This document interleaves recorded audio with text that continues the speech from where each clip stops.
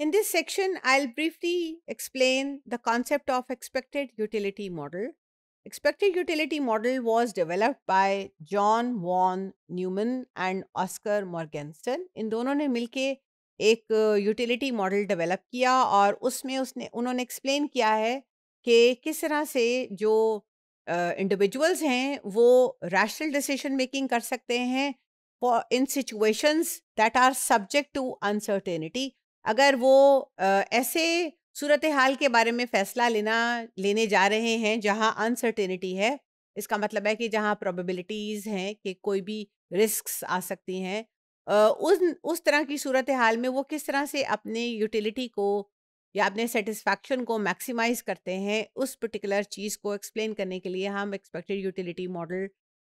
हमें बताता है। सो so, ये आपको एक्सप्लेन uh, करता है how people can go for optimal decisions by maximizing the expected value of the utility. क्योंकि अभी हमने कहा ना कि it is subject to uncertainty and they say के बेसिकली जो एक्सपेक्टेड वैल्यू है of utility is a combination of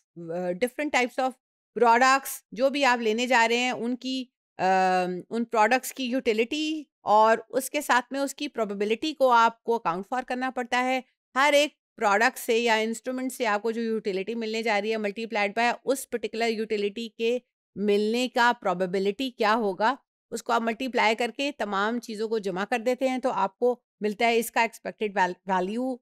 इस पर्टिकुलर कॉम्बिनेशन का एक्सपेक्टेड वैल्यू ये है। तो according to this model, people always go for that kind of a combination जहाँ expected value of satisfaction या यूटिलिटी मैक्सिमाइज हो रहा हो। और उन्होंने